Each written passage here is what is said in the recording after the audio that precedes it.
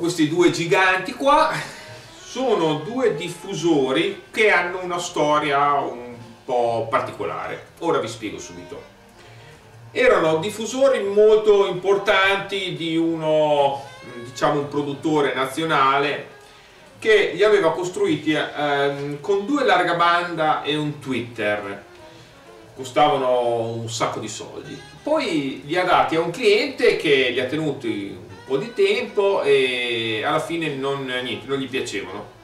Questo cliente qua ha inserito questi due subwoofer che dopo vi faccio vedere subwoofer, due wooferoni della Jamo lateralmente e, e ha fatto una cosa abbastanza ibrida con dei larga banda e, e il wooferone.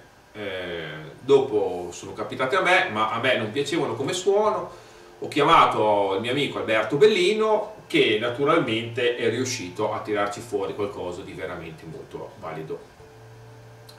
Praticamente è diventato un tre vie a sospensione pneumatica di dimensioni veramente generose eh, perché si parla di quasi 1,50 di altezza eh, oltre 25 di larghezza per una profondità di 60 cm eh, con un cabinet costruito da un professionista eh, veramente bene in, eh, tutto in ciliegio perciò finitura bellissima dal peso anche notevole perché si parla di circa 70 kg ogni diffusore eh,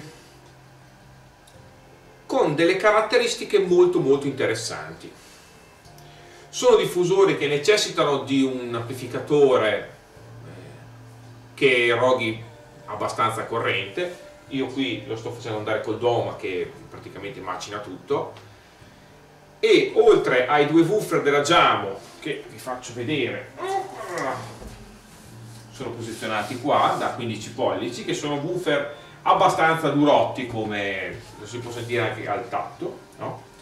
Alberto gli ha montato due mid woofer da eh, 16 cm un, eh, un twitterino eh, in seta molto molto musicale e dietro un altro twitter che dopo vi farò vedere per dare ambienza. Cosa hanno di bello queste casse qua? Che eh, risultano casse che suonano eh, chiare, cioè non, non, troviamo un basso esuberante che è fuori dalle righe, insomma.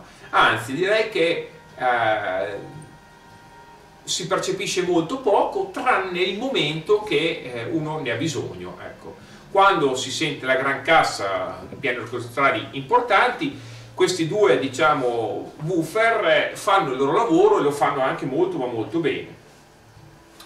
Quindi sono diffusori assolutamente non invasivi, non affaticanti, ma all'occorrenza eh, danno un, eh, un, impatto, una scena molto molto ampia.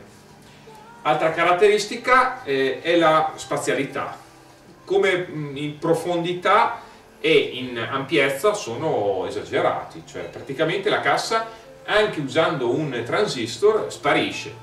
Questo sarà merito del cabinet molto grande in sospensione pneumatica, sarà merito del twitterino dietro che gli dà ambienza, sarà merito della progettazione di Alberto, non lo so, comunque il risultato è questo.